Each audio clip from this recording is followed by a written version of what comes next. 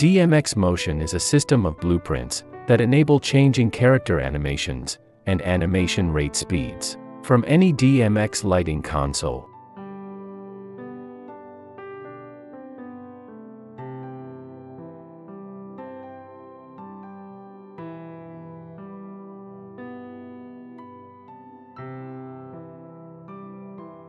That way, a lighting designer or lighting programmer can program lighting looks and corresponding character animations into the same cue.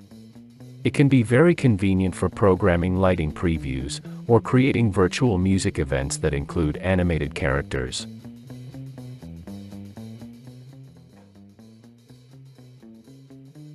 After programming, the DMX stream can be recorded by Take Recorder and used in a sequencer for additional editing or adding cameras and other assets.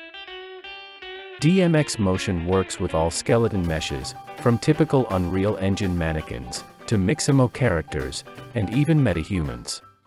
It is available from the Unreal Engine Marketplace, as an asset. For a detailed workflow, take a look at the DMX Motion workflow video. The link is in the description. Enjoy.